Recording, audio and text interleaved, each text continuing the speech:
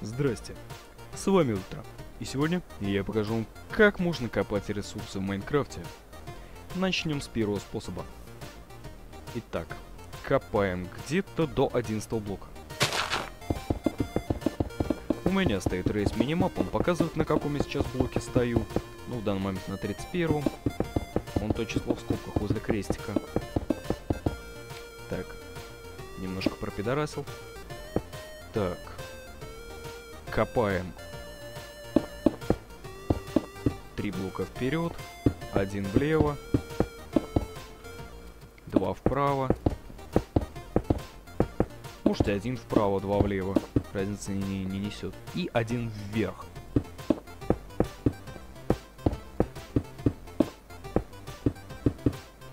Готово. Ставите по центру комнатухи факелы. Я думаю, про лестницы вот здесь напоминать не надо.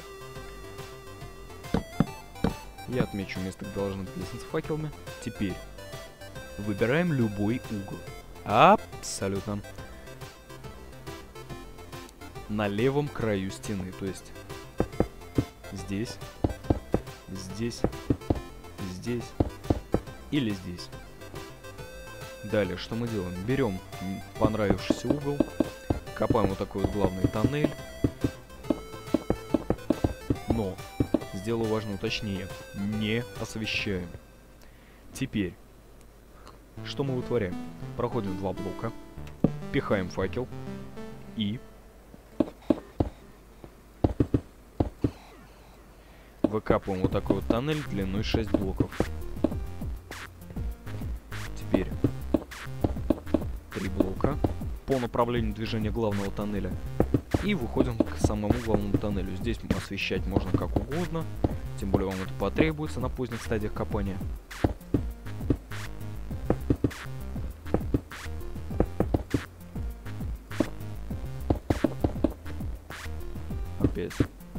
Направлению головного тоннеля. Как только вы сделали вот такую вот змеюку, то есть Прокопали 6 блоков там, прокопали 6 блоков тут. Пихаем сюда факел. Теперь повторяем операцию, ну копаем уже 12 блоков. То есть у нас получается здесь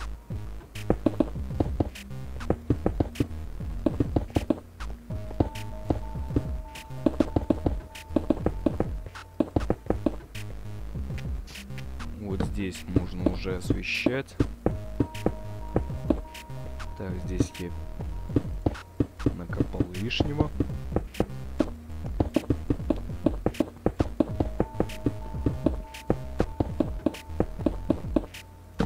Я ни хрена не вижу, поэтому буду копать как есть.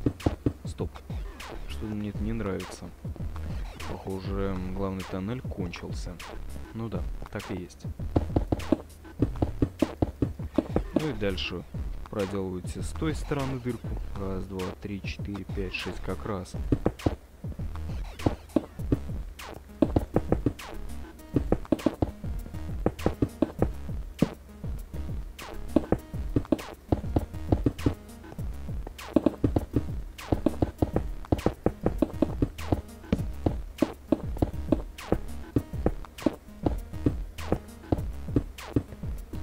Ставите здесь еще один факел, продолжаете копать, но уже 18 блоков. То есть вот так вот накидываете по 6. А почему ставить факелы именно так? Объясняю. Допустим, вы закончили копать, вышли там куда-то, не знаю, погулять, поспать, прогуляться с бабами, еще куда-то. Ну или с парнями, как повезет. Так вот, вы вернулись и забыли, сколько вы копали последний раз. Смотрите. Ага, первый факел 6, 12, вот, 18. Значит, здесь вам следует начинать копать 18. А если, допустим, у нас вот такая ситуация.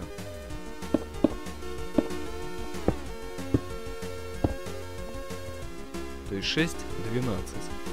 А здесь факела нет. Что мы делаем? Мы просто продолжаем выкапывать следующую серию тоннелей. Получается, что у нас здесь 18, все верно. Ну и вот такая вот нездоровая фигня. Теперь поднимаемся. Я покажу второй способ.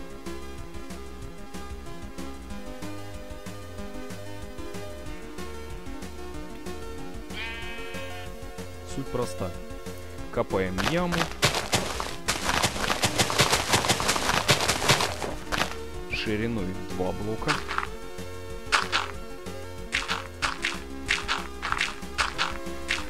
Длиной в произвольное количество блоков, а глубиной тоже произвольное количество блоков. Может, конечно, купануть 10 тысяч блоков, но я думаю, что пидорос нет такой игры.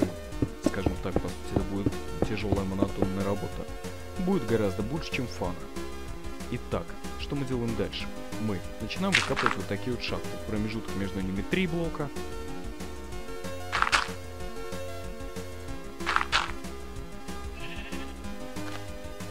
Высота самих шахт 2 блока. Дальше. Я, наверное, копану еще немного вниз.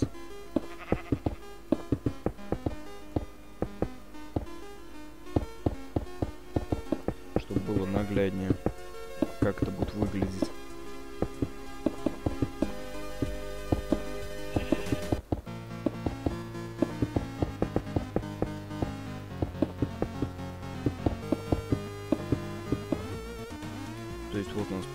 Такие шахты.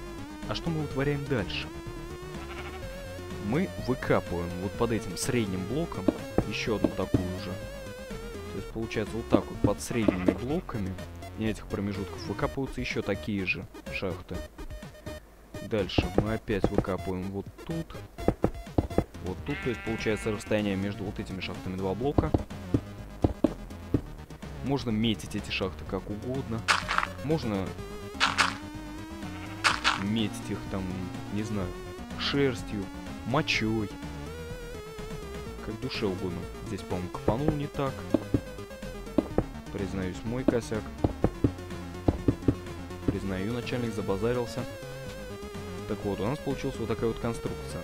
Теперь возникает вопрос. Допустим, у нас стенка, ну, не сколько, даже не 10 блоков, как у меня, а около 60.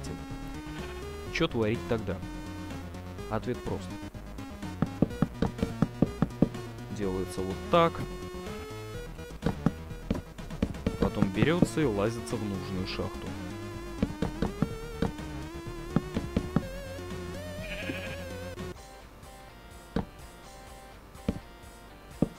Блин, пока делал там, обклеился тут. Можно сказать, что одна лестница способна обслуживать три шахты. То есть вот эту можно было и не делать. Вместо нее отлично поработало это.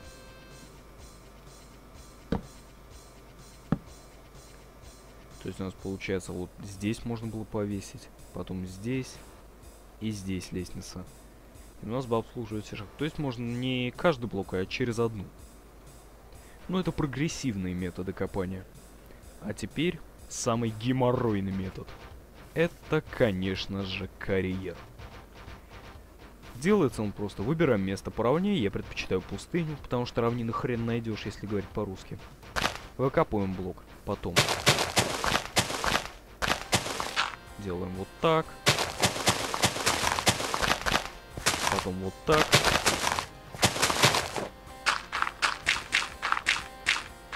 Ну и так далее в таком духе. Получается как будто бы гигантское квадратное сверло высверливает всю эту систему нахрен. То есть дальше, кому любопытно, получается вот так.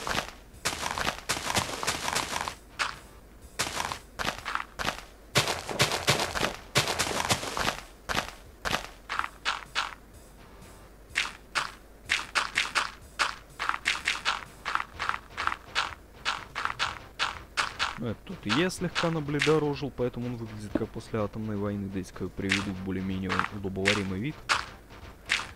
То есть дальше получается вот так и вот так далее. Вы выкапываете квадратами до тех пор, пока не дойдете до админиума. Дальше можете раскапывать его вширь. То есть получается, что у вас в основании лежит квадрат хз какого размера. И все это закатано в админиум. Ну там с примесью камней, конечно. Потому что я предпочитаю копать до пятого уровня. У меня с камней. Иначе пол, пол получается дико неровный. А потом амфитеатром расходится, собственно, Ямина. Плюсы. Гарантированно проверяются все блоки. В любом из прогрессивных методов остаются непроверенные блоки. Что в первом, что во втором. Дальше. Можно не опасаться за освещение. Освещение требуется только в ночное время, а в ночное время вы обычно спите, чтобы не пидораситься с враждебными мобами. Это так. Минусы. Охренительно трудно. Я понимаю.